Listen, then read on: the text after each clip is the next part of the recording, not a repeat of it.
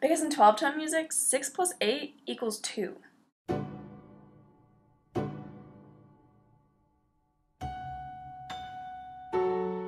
Welcome to the last part of Alison's brief guide to music history. How the time has flown. so sad. Today we discuss the last and current period of music history, the 20th slash 21st century. We haven't really named it yet, so let's start where we left off last week. The Romantic era was full of tonal expansion, emotion, and around the turn of the 20th century, it became very experimental. If you watch the video about Richard Strauss, which will be about right here, then you will see that he really pushed tonality and subject matter to whole new levels of ambiguity.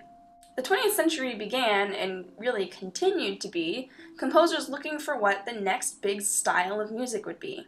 Everyone went in some really crazy and avant-garde directions, so for this video I'm going to organize by style.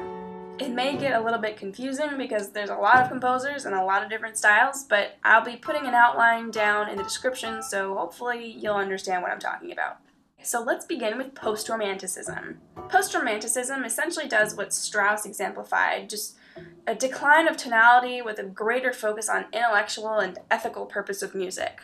The biggest composers of this group were Richard Strauss, Gustav Mahler, one of my all-time favorite composers, and Jean Sibelius. Next, we're looking at Impressionism. This movement moved, movement moved. Anyway, this movement moved against the overly romantic and epic style of the Romantic and instead considered art and music to be a sensual experience with subtlety and charm. As you could probably tell, this movement started in France with Claude Debussy. Other composers of this style around the turn of the century were Maurice Ravel and Manuel de Falla. The movement continued into the middle and late 20th century with works by André Caplet and Olivier Messiaen, um, and Messiaen wrote a lot of really cool pieces about nature and used birdsong in them. Primitivism was a short-lived but very explosive style of music that was inspired by the origins of music. The two big composers of this style were Sergei Prokofiev and Igor Stravinsky. The most famous primitivist piece is Stravinsky's The Rite of Spring. This was a ballet that depicted the ancient traditions of the Russian steppes and involved a sacrifice of a young girl by dancing her to death. The music is very percussive, and the rhythms and melodies are based on tonal center rather than tonality. One of the biggest developments of the 20th century was the use of atonality. The movement came out of Romanticism with the composer Arnold Schoenberg, Schoenberg developed something called the 12-tone composition technique.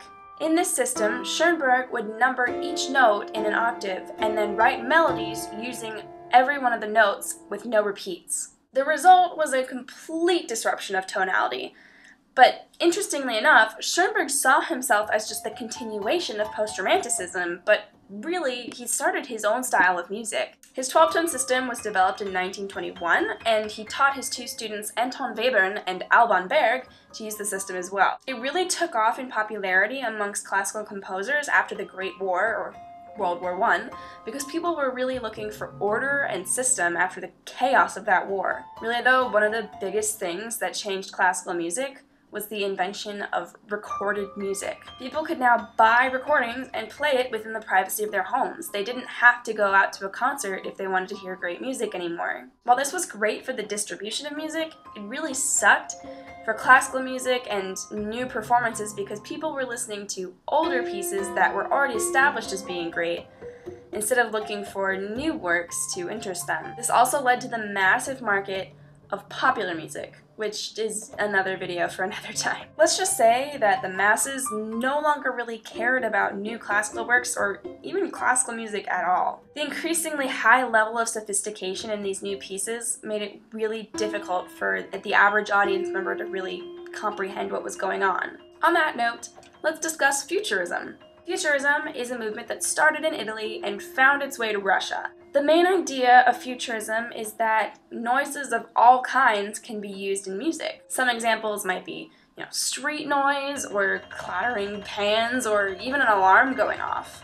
The idea is that since these noises are a part of everyday life, they have an impact on the listener. One of my favorite things to come out of futurism is the prepared piano. Composers would prepare their piano by putting nails or erasers or, you know, paper clips under or around or on strings of the piano. They would then map out where they placed all these things so that when they wrote their composition and sold it for other people to perform, these players would be able to completely recreate the prepared piano that the composer had used. We are currently listening to an amazing prepared piano piece by John Cage, and as you can tell, it doesn't really sound like a piano at all. Another movement is neoclassicism. This was another reaction to the chaos of the Great War, and it involved an attempt to go back to the forms of 17th and 18th century music, but with modern tonal techniques. Some famous composers of neoclassicism are Maurice Ravel, again, Igor Stravinsky, and Paul Hindemith, who taught composition and theory at Yale, interestingly enough. He also created his own system for musical composition, and I will definitely be doing a video about that someday. We've been listening to his piece Mathis der Maler. Expressionism was a major trend in music from around the turn of the century till 1930. This was essentially a reaction to Impressionism, and it stressed the emotional power of music and the way it could affect a person's subconsciousness. Some big Expressionist composers include Gustav Mahler again, Alexander Scriabin, and Charles Ives. After World War II, Expressionism had something of a rebirth, with later composers Pierre Boulez and Hans Henze getting their hands in there. Another style of music is postmodern music. Championed by John Cage, this style used elements such as irony and, interestingly enough, chance. Cage wrote pieces that would rely so heavily on chance that you would have to figure out what you were playing sometimes by flipping a coin or going to look up certain things in a book. Very cool stuff. We've been listening to his piece 4 minutes 33 seconds. And if you can't hear anything, it's not because you're crazy or because I forgot to put the background track in. It's because this piece instructs the player to not play anything for the three movements that total up to be 4 minutes 33 seconds. Instead of hearing music, you're supposed to hear the other sounds in the hall or the ambient noise that comes in, so it can also be something of a joke. One of the later movements of the 20th century that is definitely prevalent today is minimalism. Minimalistic music is basically stripped down to the bare bones of what makes music. There's a lot of techniques like repetition and something called phasing, and phasing is where one musician will play a melody at one tempo and then another musician will play the exact same melody but at a faster tempo and they'll just keep playing, keep playing until they eventually come into phase with each other. Some big names of minimalism are Arvo Pärt, Philip Glass, Steve Reich, and John Adams. Honestly though, the 20th century can really only be classified by being unclassifiable. There are so many styles and techniques that it's really hard to pin one down as being the prevalent or defining movement of the period. I hope you guys enjoyed this brief guide to music history. From now on, videos will focus on one interesting thing instead of just this huge, massive information. Whew. Okay, thank you all for watching, and if you learned something, please like and subscribe. Bye-bye now. Bye-bye.